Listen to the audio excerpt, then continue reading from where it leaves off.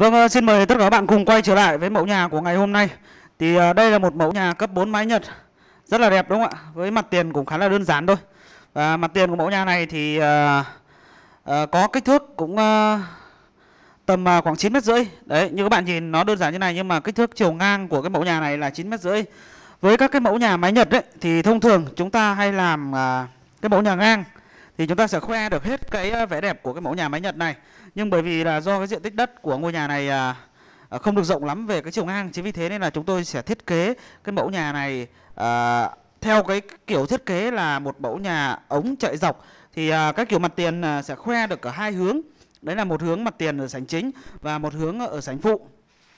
Và cái mẫu nhà máy Nhật này thì à, được chúng tôi thiết kế cho nhà chú Tín ở Yên Thế Bắc Giang.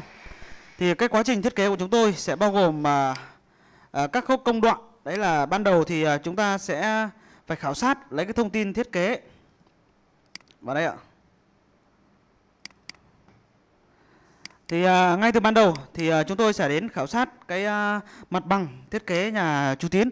Ở đây thì à, khi mà đến khảo sát cái mặt bằng thì chúng tôi sẽ đo đạc à, cái kích thước của mảnh đất và xem cái hiện trạng của mảnh đất này thì à, à, bốn xung quanh cái mảnh đất này sẽ được à, à, bố trí như thế nào? À, có bao gồm à, các cái ảnh hiện trạng mà chúng tôi à, à, chụp và chúng tôi à, sẽ khảo sát bằng flycam. Đấy rất là nhiều cái phương án khảo sát ở đây. Thì à, à, như cái phương án khảo sát của công ty chúng tôi hiện tại là chúng tôi sẽ đo và khảo sát mặt bằng hiện trạng bằng flycam và bằng thước cộng thêm với lại khảo sát cái vấn đề địa chất bằng à, chủ yếu là bằng à, bằng bằng máy đào thì à, cái phương pháp khảo sát địa chất bằng khoan khoan thăm dò địa chất thì phương pháp đấy uh, thực sự là cũng không cần thiết uh, khi mà chúng ta thiết kế một ngôi nhà dân. Bởi vì là cái phương án ờ, khảo sát địa chất đấy thì nó khá là tốn kém. Một lần khảo sát có thể lên đến là 15 20 triệu uh, cho một cái ngôi nhà. Chính vì thế là cái chi phí đây chúng tôi sẽ loại bỏ đi và không cần thiết. Và như cái mẫu nhà đây ạ mẫu nhà này thì chúng tôi đã đo đạc và chụp được các cái ảnh hiện trạng của mẫu nhà.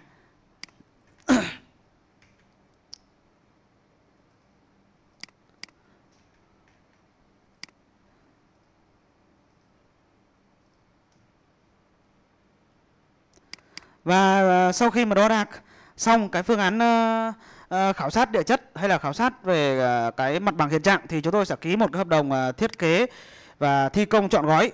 À, nếu mà trường hợp nhà các bạn mà có cái nhu cầu thi công chọn gói luôn thì chúng ta sẽ ký luôn một cái hợp đồng thiết kế và thi công chọn gói. Nhưng nếu mà nhà mình chưa có cái nhu cầu về thi công chọn gói luôn thì chúng ta sẽ ký một cái hợp đồng về thiết kế. Thì cái hợp đồng thiết kế này cũng chúng tôi cũng uh, rất là rõ ràng sẽ bao gồm có các cái hạng mục chính ví dụ như thế là à, thứ nhất là cái thời gian mà chúng ta thực hiện một cái hồ sơ thiết kế như thế này.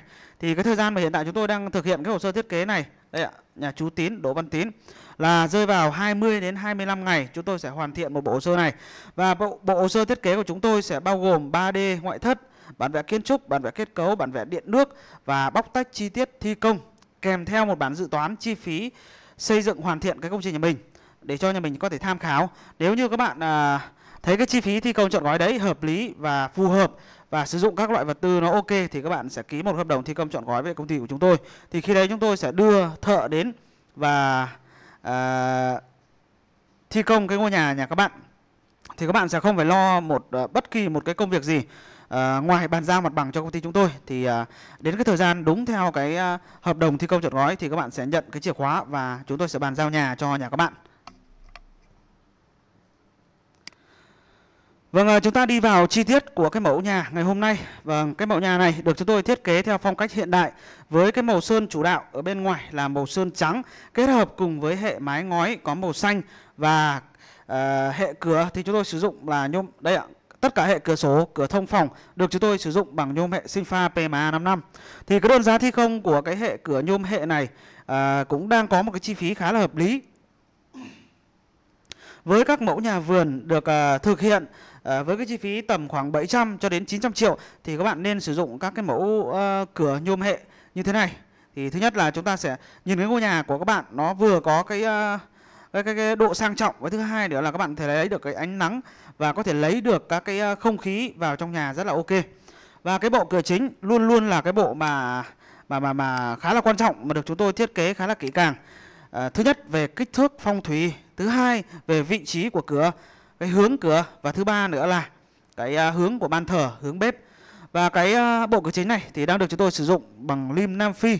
Và đơn giá của cái bộ cửa chính này à, hiện tại chúng tôi đang thi công cho khách hàng là 2 triệu 400 nghìn đồng trên 1 mét vuông, chưa bao gồm khung bao.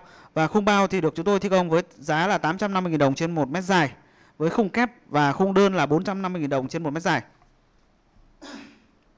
Và cái mặt tiền của ngôi nhà này được sử dụng hai hệ cột uh, đấy là cột vuông và cái cột sảnh chính này thì có kích thước là 500. Đây ạ, thân cột có kích thước là 500 x 500. Và ở giữa cái phần thân cột sẽ chạy một cái phần sẽ chạy một cái chỉ để tạo cái điểm nhấn cho thân cột này. Và bát dưới thì được chúng tôi ốp bằng gạch thẻ và bát trên thì được sơn trang trí. Và thân cột thì được chúng tôi sơn uh, sơn giả đá. Và với cái uh, cái cái cái chi phí để các bạn uh, có thể sơn được giả đá này nó cũng khá là rẻ thôi. Hiện tại chúng tôi đang làm cho khách hàng là 400.000 đồng trên 1 mét vuông sơn giả đá. Và các bạn cũng có thể sơn giả gỗ các bạn nhé. Rất là nhiều các cái phần uh, vật tư vật liệu mà được chúng tôi sử dụng khá là đa dạng cho các cái công trình thi công trọn gói. À, một uh, phần khá là quan trọng mà tôi nhắc cho các bạn đấy là tất cả các cái ảnh thi công của công ty chúng tôi hoặc là các cái ảnh 3D của công ty chúng tôi thì đều có gắn cái logo của công ty. Đây ạ logo của công ty chúng tôi đây là logo chính thức với hình tháp tức là hình ba ngọn tháp à, gắn kết cùng với nhau biểu tượng cho cái à, sự liên kết của ba miền Bắc Trung Nam. Và cái tên của công ty chúng tôi cũng là có cái tên là Bắc Trung Nam. Và cái số điện thoại hotline của công ty chúng tôi khi mà các bạn muốn đăng ký thiết kế thi công chọn gói thì các bạn có thể liên hệ đến cái số hotline là 0963 95 1111 thì bất kỳ một lúc nào chúng tôi cũng có các à, nhân viên chăm sóc các bạn và tư vấn cho các bạn về các cái mẫu nhà mà các bạn hiện tại đang cần có cái nhu cầu thiết kế hoặc thi công chọn gói. Chúng ta đến một cái view khác đây ạ. Đây là cái view mà các bạn có thể nhìn được cả cái phần chi tiết của sảnh phụ. Với phần sảnh phụ thì được chúng tôi thiết kế một à, ống khói giả ở vị trí này. Thì cái ống khói này, à, tại sao gọi là ống khói giả? Thì ống khói chỉ được à, xây từ à, mặt sàn trở lên, xây từ cốt sàn phía trên trở lên. Và cái ống khói này thì à, ở phía trong này không phải là rỗng các bạn nhé. à, chúng tôi chỉ xây xây từ mặt sàn trở lên và à, nó sẽ không có lỗ thông xuống phía bên dưới bởi vì nó mục đích của cái ống khói này là trang trí cho cái phần mái nó gần như thể là cái phần cửa mái đấy. Các cái phần cửa mái ở trong các cái mẫu nhà máy Thái mà các bạn thường xem các cái mẫu nhà mà công ty chúng tôi thiết kế. Thì cái màu ống khói này cũng được chúng tôi sơn giả đá với cái màu sơn nó gần gần tương đồng với lại màu sơn à, với cái màu gạch mà chúng tôi à, ốp với phần à, chân tường của cái phần sảnh phụ này. Thì à, như các bạn để ý thì tất cả các phần à, chân tường xung quanh ngôi nhà được chúng tôi à, ốp bằng. Đây là cái vật liệu uh, gạch giả đá các bạn nhé. Thì cái gạch giả đá này các bạn có thể mua ở ngoài thị trường rất là nhiều các chỗ mà uh, mà bán. Đấy. Còn sảnh chính sảnh chính thì được à, uh, sảnh chính và sảnh phụ thì được chúng tôi uh, uh, sử dụng đá granite có màu đen và kết hợp cùng với cổ trắng tạo nên được một cái uh, điểm nhấn và uh, cái sự kết hợp hài hòa cho cái uh, không gian của phần sảnh chính nha các bạn.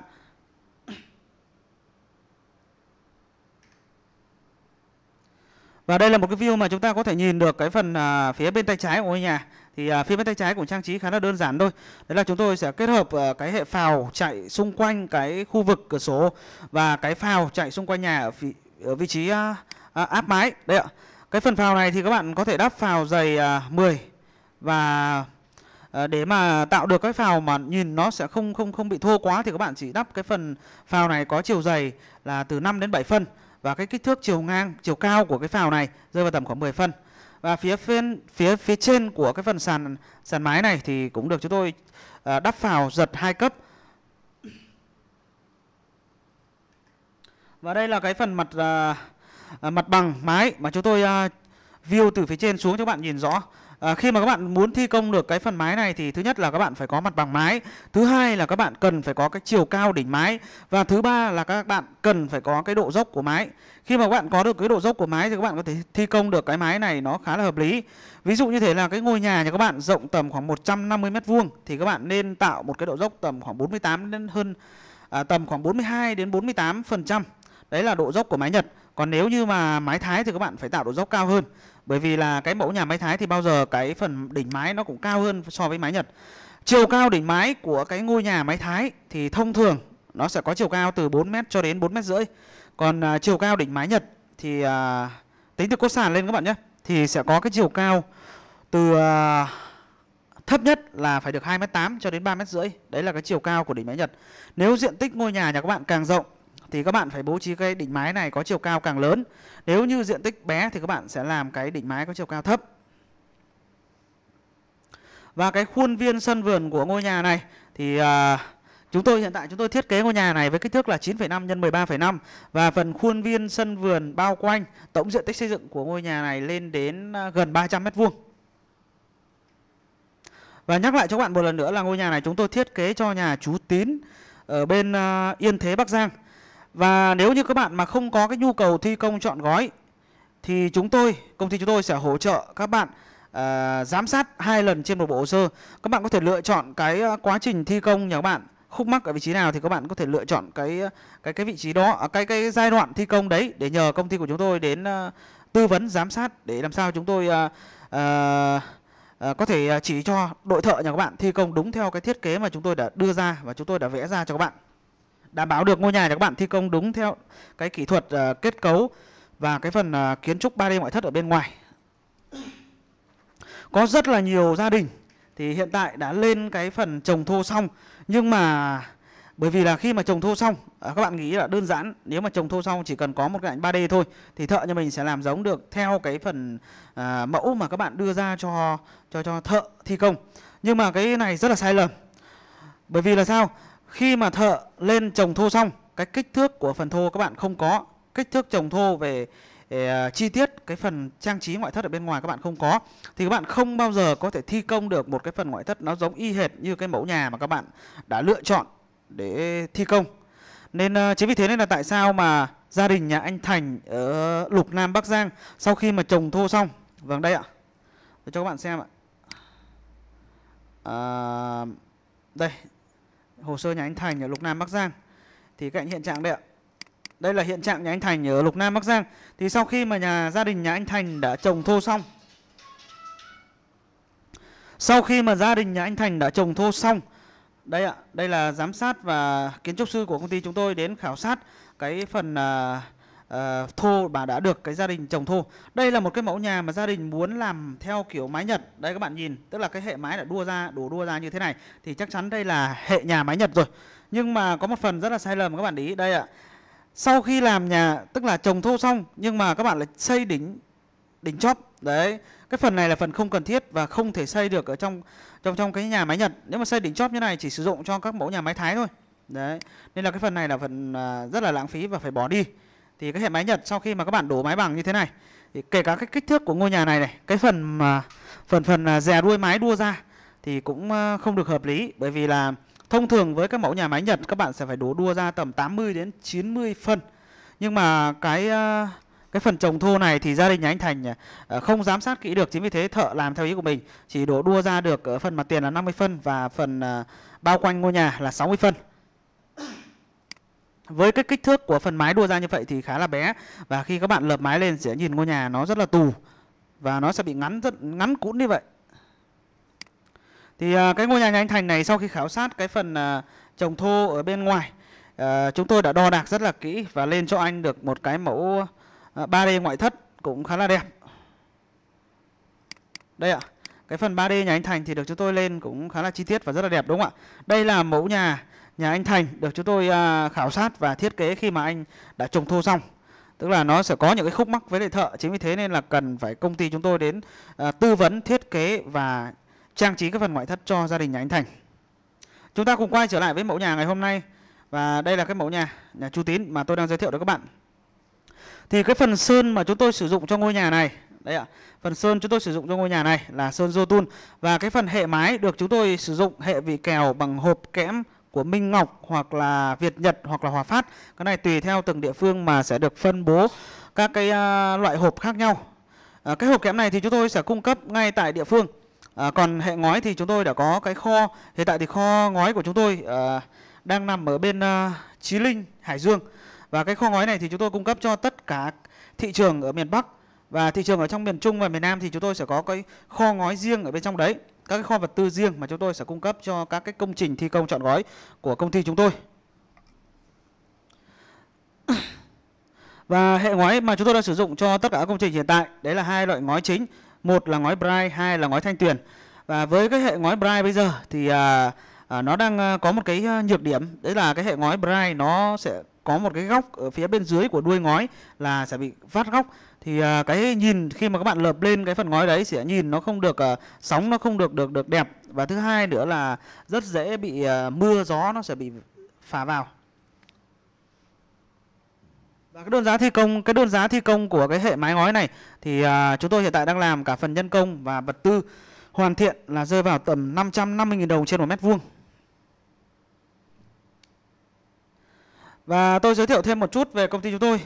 À, đây là cái kênh uh, YouTube của công ty chúng tôi. Đây là cái kênh YouTube mà công ty chúng tôi đã thành lập ra và chúng tôi uh, tạo nên được các cái uh, sau khi mà chúng tôi lên thiết kế về các cái mẫu nhà hay là chúng tôi thi công chọn gói về các cái mẫu nhà thì chúng tôi sẽ đăng lên uh, trên cái kênh YouTube này để cho các bạn có thể tham khảo một cách kỹ càng hơn.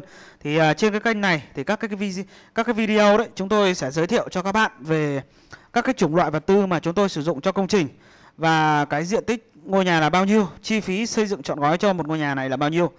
Vâng, ờ, như cái ngôi nhà nhà chú Tín ở Yên Thế Bắc Giang thì hiện tại ờ, cái kích thước thiết kế là 9,5 x 13,5 và chúng tôi đang dự toán cái phần chi phí xây dựng cho ngôi nhà nhà chú Tín là hơn 800 triệu đồng.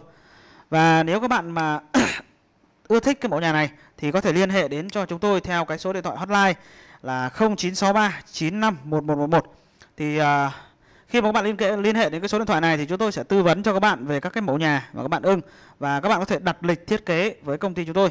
Thì chúng tôi sẽ cho kiến trúc sư cộng thêm với lại các um, kỹ thuật uh, những giám sát của chúng tôi sẽ đến tư vấn cho các bạn và đo đạc khảo sát cái địa hình, lấy thông tin thiết kế và sau đấy ký một cái hợp đồng thiết kế với gia đình nhà chúng mình.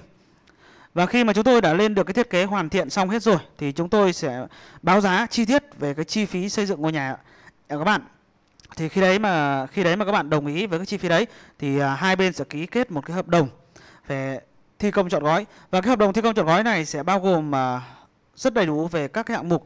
Thứ nhất là thời gian thi công thứ hai là à, tổng chi phí xây dựng thứ ba là à, các cái thời điểm các cái giai đoạn mà nghiệm thu và thanh thanh quyết toán tiền. Thứ tư là, là cái phần à, à, bảo hành. Và thứ năm là kèm theo một cái phần rất là quan trọng đấy là phần dự toán và phần à, à, bảng phụ lục vật tư tức là các cái vật tư mà sử dụng cho công trình nhà mình đấy. Ngoài ra thì các bạn có thể tham khảo các cái thông tin thiết kế của công ty chúng tôi thông qua cái trang fanpage. Đấy là Bắc Trung Nam thiết kế thi công chọn gói.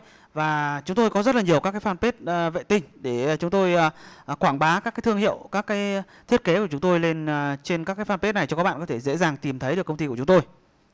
Và trên uh, trang fanpage này của chúng tôi thì cũng có đầy đủ rất là đầy đủ, đủ thông tin. Thứ nhất là uh, website thứ hai là số điện thoại liên hệ thứ ba là uh, đường dây nóng và rất là nhiều các cái thông tin mà các bạn có thể đọc trên cái fanpage này của chúng tôi. Thì ngoài ra thì cũng còn rất là nhiều các cái nhóm mà công ty chúng tôi làm việc ở trên các cái nhóm đấy. Ví dụ có thể là các cái mẫu biệt thự vườn này nhóm ờ, nhà đẹp giá rẻ một triệu mẫu nhà đẹp ờ, một triệu mẫu nhà vườn đẹp hay là mẫu nhà đẹp cộng cộng. À, ngoài ra thì các bạn có thể theo dõi cái thông tin về công ty chúng tôi hay là về các cái uh, quá trình mà chúng tôi thi công hay là cái quá trình mà chúng tôi làm việc hàng ngày trên cái trang uh, trên một cái trang Facebook cá nhân của tôi. Vâng, đây là cái trang à, Facebook cá nhân của tôi, Lê Văn Nam. Và trên cái trang Facebook cá nhân này cũng đầy đầy đủ rất là đầy đủ các thông tin và các cái mẫu nhà, các cái quá trình mà chúng tôi thi công. Ví dụ như thể đây là cái mẫu nhà mà chúng tôi đang thi công cho nhà anh Nam ở xóm 8 Thiên Hương Thủy Nguyên Hải Phòng. Và cái mẫu nhà này thì hiện tại à, à, trong ngày hôm nay thì à, tôi có qua để kiểm tra cái chất lượng công trình và nghiệm thu cái giai đoạn phần thô để kết thúc cái giai đoạn này và chuyển sang à, lắp ghép cốt pha và à, lắp ghép kết cấu phần thép mái để chuẩn bị cho cái quá trình đổ mái.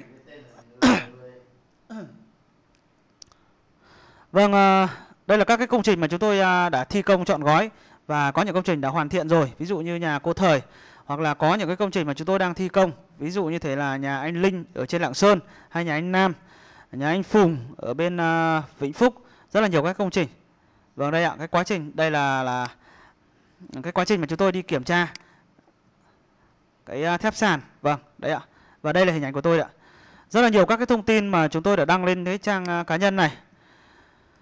Vâng uh, xin chào và hẹn gặp lại các bạn trong các cái mẫu nhà mà chúng tôi sẽ thiết kế mới đây nhất còn rất là nhiều mẫu nhà mà các bạn có thể tham khảo được.